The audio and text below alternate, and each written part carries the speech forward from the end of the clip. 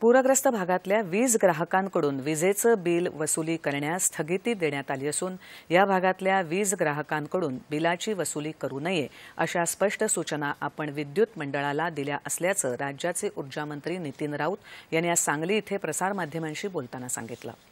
वीज बिल माफ करण्याचा अधिकार हा केवळ मंत्रिमंडळालाच असल्याचं राऊत यांनी सांगितलं. आम्ही पूरग्रस्त भागामध्ये वीज वसूल करू नये असे आदेश दिलेले आहेत. आणि या ठिकाणी अजिबात वसुली होणार नाही. वीज बिलं सुद्धा दिली जाणार नाहीत. या पूरग्रस्त भागात मधल्या या परिस्थिती जोपर्यंत दुरुस्त होत नाही तोपर्यंत.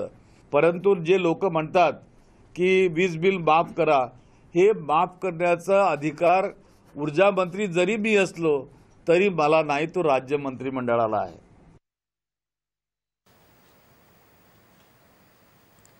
वीज निर्मितीसाठी मोठ्या प्रमाणात खर्च करण्यात येतो. त्यामुळे वीज मोफत देता येणार नाही असंही त्यांनी स्पष्ट केलं. सध्या पूरग्रस्त जनतेची अडचण लक्षात घेऊन वीज वसुलीला स्थगिती देता येईल असं ते म्हणाले. ऊर्जा मंत्र्यांनी आज सांगली जिल्ह्यातल्या पूरग्रस्त भागाची पाहणी केली. तसंच वीज मंडळाच्या विविध ठिकाणच्या केंद्रांना भेट देऊन नुकसानीची पाहणी केली.